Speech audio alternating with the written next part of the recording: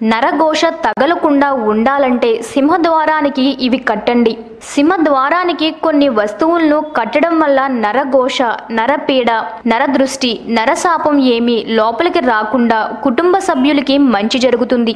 పీచు తినేటువంటి కొబ్బరికాయ పట్టిక గుప్పెడు నవధాన్యాలు ఒక ఇనుప మేకు అదేవిధంగా పసుపు కుంకుమ పదకొండు ఒక్కకాయలు పదకొండు మిరియాలు కొద్దిగా పచ్చకర్పూరం వీటినన్నిటినీ కలిపి ఎరుపు రంగు బట్టలో కట్టి ఆ బట్టను సింహద్వారానికి పైన కట్టినట్టయితే బయటి నుండి సింహద్వారం ద్వారా వచ్చే వారిపైన ఆ మూట ఉండడం వల్ల లోపలికి వచ్చే వారిలో నరఘోష నరపీడ నరదృష్టి నరశాపం ఇత్యాదులన్నీ కూడా ఆ మూటలో ఉన్నటువంటి ద్రవ్యాలు లాగుకుని ఆ ఇంటి లోపలికి వచ్చేవారు సాత్వికమైన దృష్టితో ఇంట్లోకి వచ్చే విధంగా చేస్తాయి.